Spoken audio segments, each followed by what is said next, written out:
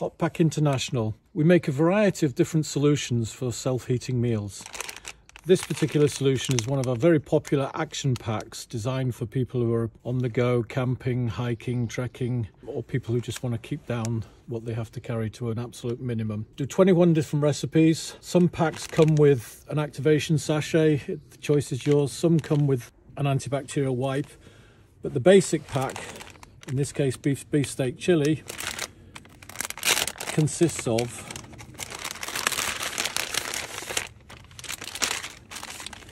the heater, a biodegradable spork, 70% of which is maize, corn and potato starch and the meal of your choice.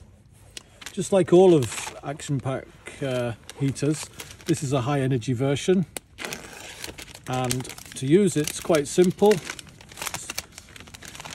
You have to ensure that the pad, when you place your meal inside, is central of the meal. Add the water there's a fill line on the front.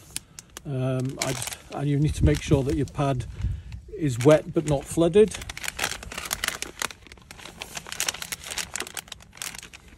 There's a delay on the pad which is deliberate because you don't want it heading off straight away when you're still preparing the pack little bit of tape that comes on there. And then eight to ten minutes later you'll see this uh, your meal will be ready. In a short while you'll see some steam coming out. As i say there's a deliberate delay so that you've got time to do all this. The first thing we'll hear is some slight hissing followed by steam.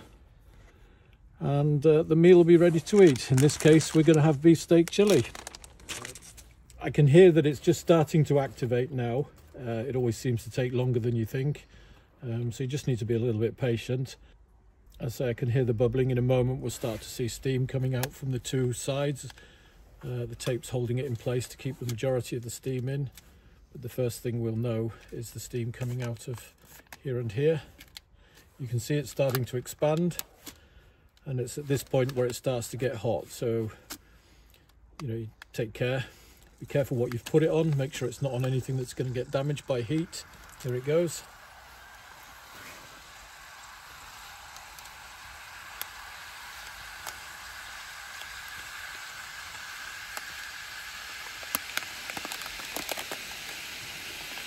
There it is, starts steam.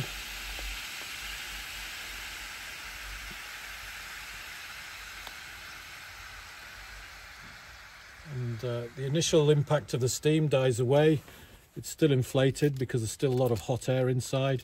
But the pad underneath, you have to take care, don't copy this, but take care not to burn yourself when touching. That is, the top of the meal is now hot.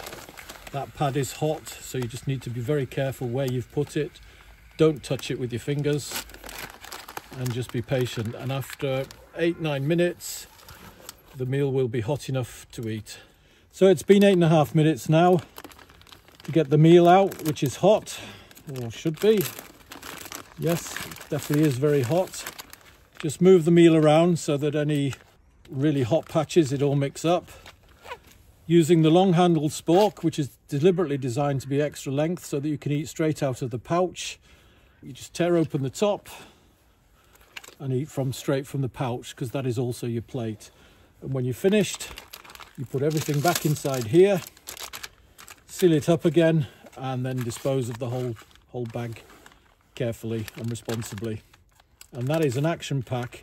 It doesn't have all the frills, although they are available to add if you wish.